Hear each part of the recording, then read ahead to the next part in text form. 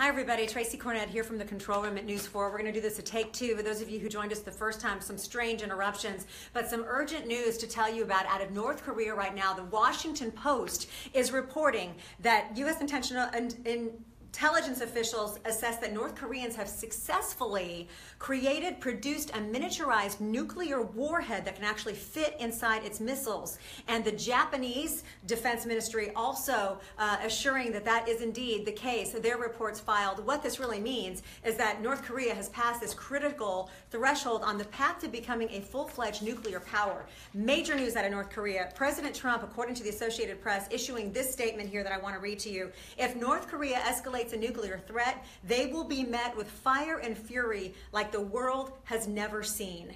That is what President Donald Trump has just issued. So we're going to keep following this. We're going to have the latest coming up at 4 and follow it, of course, all throughout our evening newscast, bring you any urgent developments. Also want to turn to a local story that's right here. Much happier news today. As you look at the monitor, you see Governor Haslam, you see Mayor Megan Barry, and you see the unveiling of British Airways announcing a non-stop flight out of Nashville to London. It will operate five days a week. Huge news for international travelers. This all begins on May 20 2018 will make connections to your favorite uh, European cities and otherwise. Um, so much easier coming out of Nashville. So that is huge, wonderful news for our economy here in Nashville as well. We're going to tell you some of the key players, including a couple of musicians who helped bring that to fruition. So all of that starts in just a few minutes on News 4 at 4. Please tune in and we will see you on TV.